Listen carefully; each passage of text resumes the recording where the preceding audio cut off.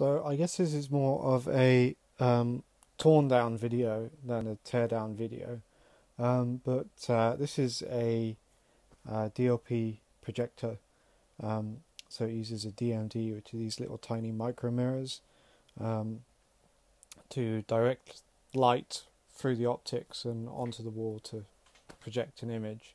Um, and I was kind of I've been kind of interested in uh, um, DMDs uh, because they're they're cool and I would like to be able to interface to one directly. Um, so I tore down this projector and I've been playing around with it and trying to trace out some of the signals and figure out what's going on. But it's quite an interesting unit, and it, this one was is broken. It was just dead pixels on the DMD, um, so it's quite cheap off eBay. I got two two of them for um, thirty or forty quid or something. So, yeah, uh, I don't know if you can really see how it actually fit together, but obviously this is the um, the optics, uh, the lens to to focus the image that's re- reflected off the DMD, which sits behind it here.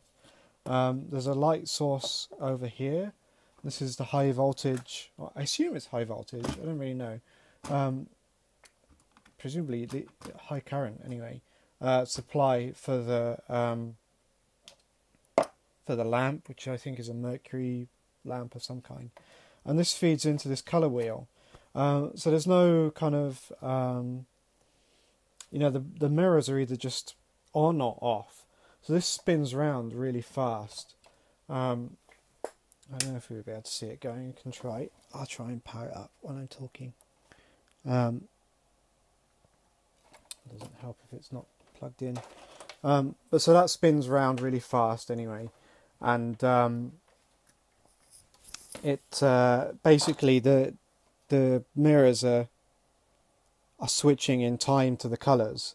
So when like the the blue, um, when the blue filter, oh there we go. Uh, so you can see it spinning around.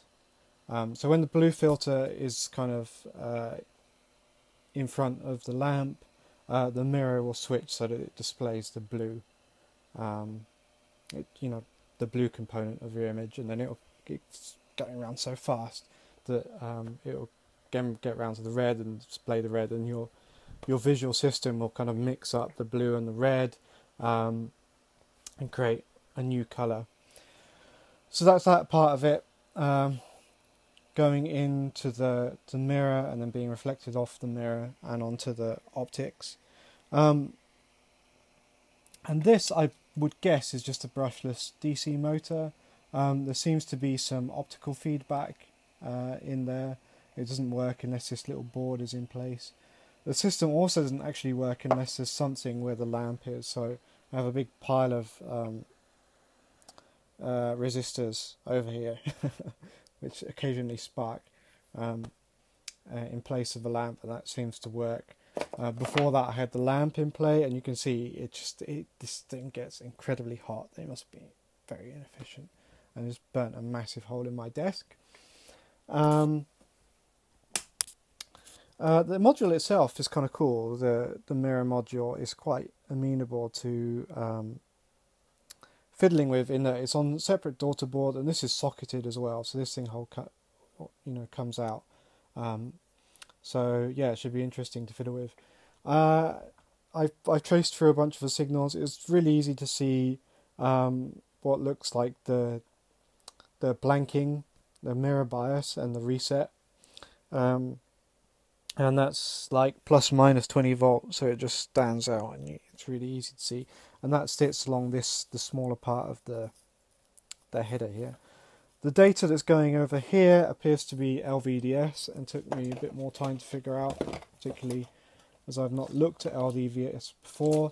Um, and I ended up kind of hacking uh, a couple of little bodge wires um, on here and then using uh, the technique that Mike from Mike's Electrics uh, Electric Stuff uh, suggests of making a little um, probe to uh, to measure LVDS signals. Um, yeah, and I've posted some of those to um, the blog post on this uh, on this teardown and reverse engineering. But it's going to be an awful lot of work to to kind of go through all the LVDS channels and figure out exactly what's going on. So I don't know if I'll do that. Um, it's all all the LD uh, LDVS and everything is is uh, generated by this uh, ASIC, uh, which is called the DDP 2230, um, and obviously uh, TI don't provide a datasheet for that. Um, does look like there's a leaked datasheet around somewhere. I found one on the Chinese website, but I can yeah I could only see a preview and couldn't download the whole thing, which is a shame. Um, but yeah, I thought it was kind of interesting. Um, it would be nice to get a bit further along with it. It would be nice to be able to control basically the DMD directly. I feel like you know these MEMS devices have potentially some really interesting applications. So yeah. Anyway, thanks very much.